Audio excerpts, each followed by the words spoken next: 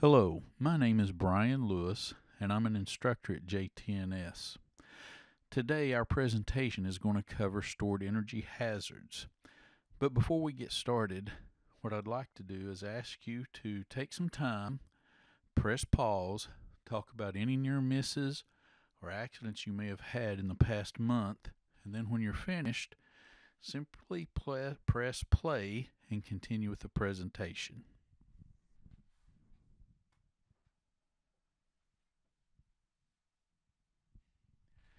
Okay, today we're going to talk about stored energy hazards in public works and in utilities.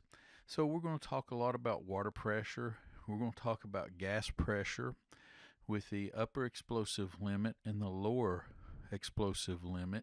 And we're going to talk about sewer pressure in force main sewers.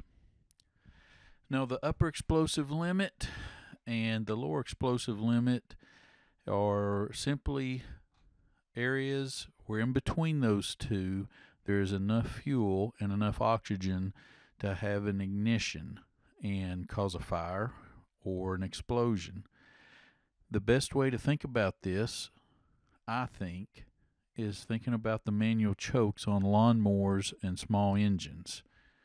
So, if you have a cold engine, you turn the choke all the way up. When the engine gets warm, you pull the manual choke down.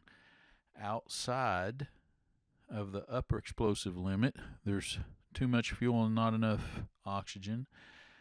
On the lower side of the lower explosive limit, there's not enough fuel and too much oxygen.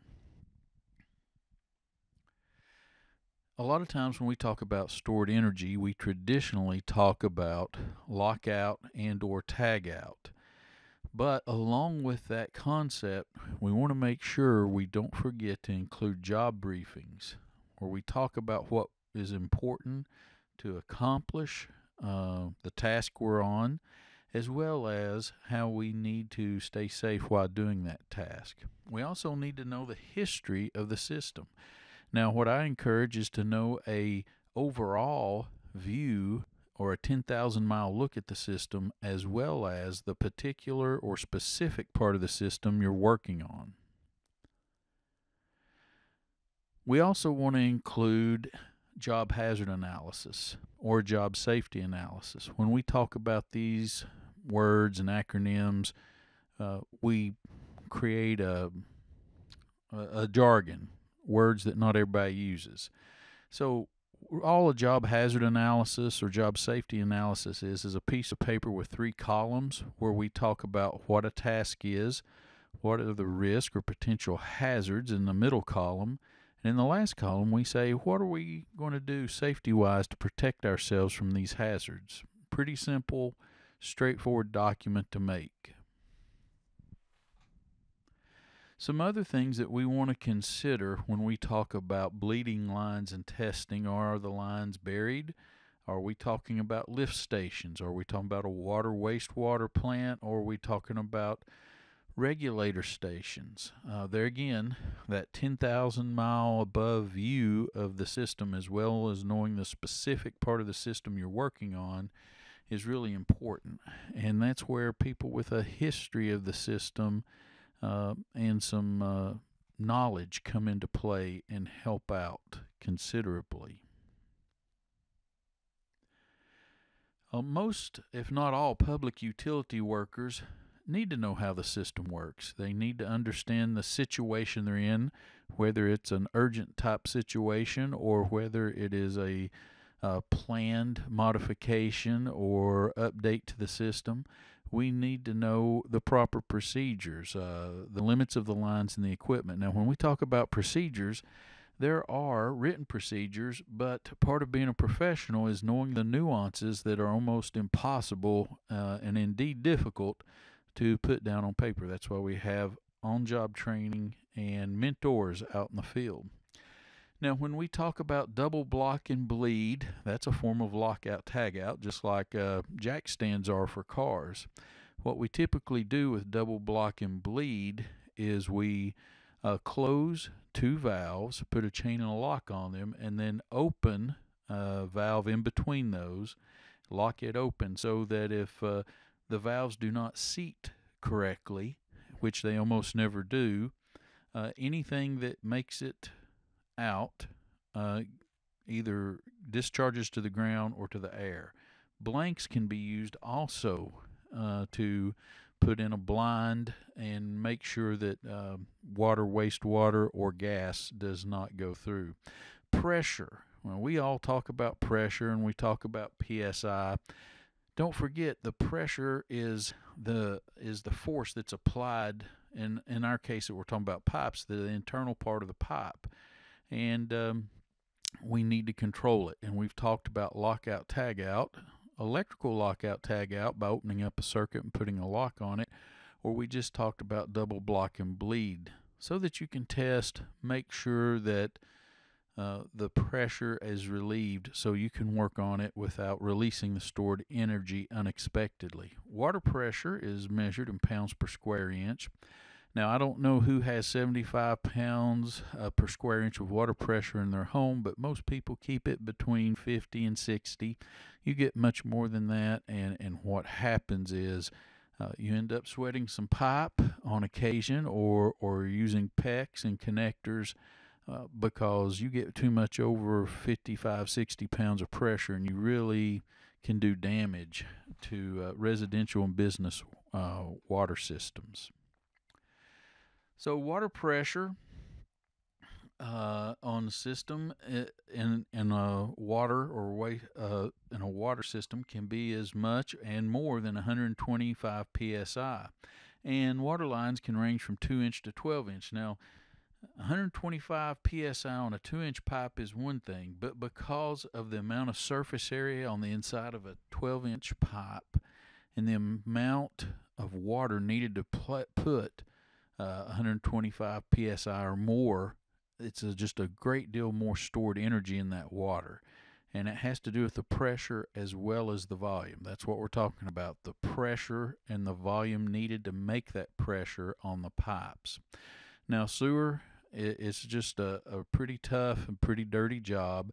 And uh, you can have everything from gravity flow or head pressure on a pipe to a force main that's under pressure. You also have uh, lift stations and residential E1 pumps. There again, uh, you can use traditional lockout to open up a, an electrical circuit and apply a lock. Uh, you can also need to double block and bleed and uh, to release the pressure also.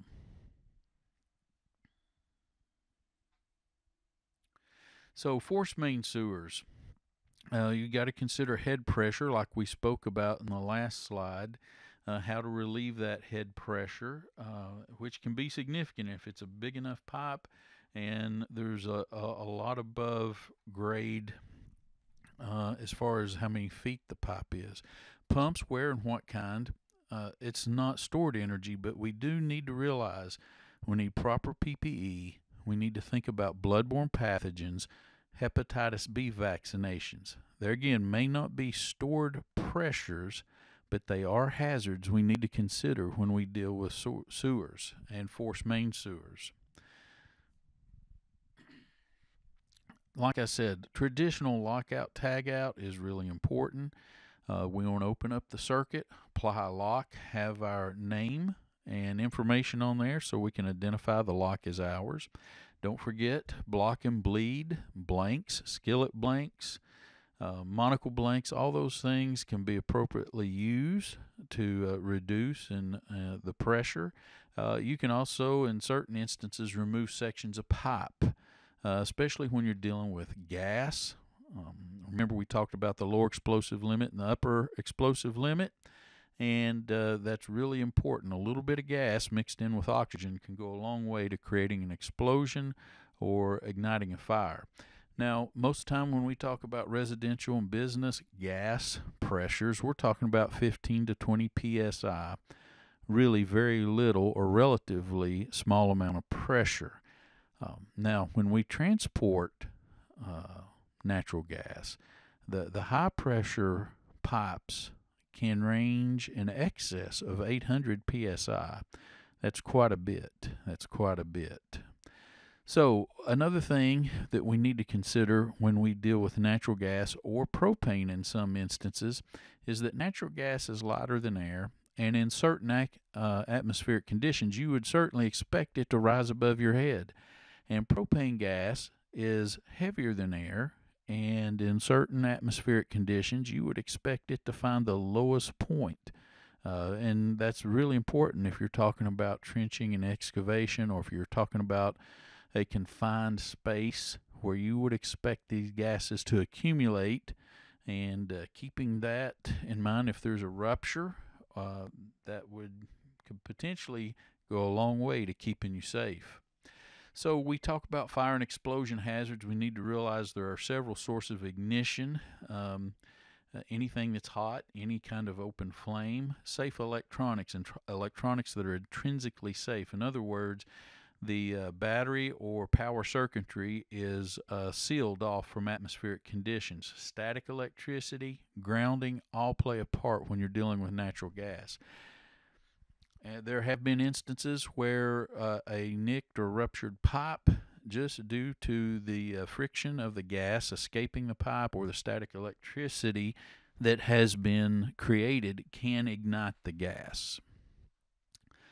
So, when we talk about uh, having a summary, what we'd like you all to take away from this presentation is know the pressure and the size of the lines you're working with. Respect those pressures, keep them in the front of your mind. Remember, lockout, tagout, double block, and bleed is really important. Uh, always monitor the air quality when you're working with sewer systems. Besides the LEL, UEL, uh, there's hydrogen sulfide and oxygen uh, content is important. So keep that in mind and uh, please stay safe and realize all that is important there. Uh, from everybody at JTNS, I want to say thank you for uh, paying attention and participating, hopefully. Uh, if you have any questions, please contact your JTS representative and uh, we'll do our very best to answer your questions. If we do not know the answer right off the top of our head, we'll do our very best uh, to research and get back with you with those answers. Thank you, and once again, have a great day until we see you next month. Bye.